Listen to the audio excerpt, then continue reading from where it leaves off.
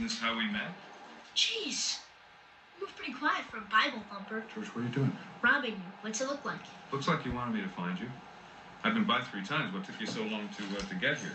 It's not like I have a car. Okay, well, consider yourself caught. Let's go. Stop. I'm not going anywhere.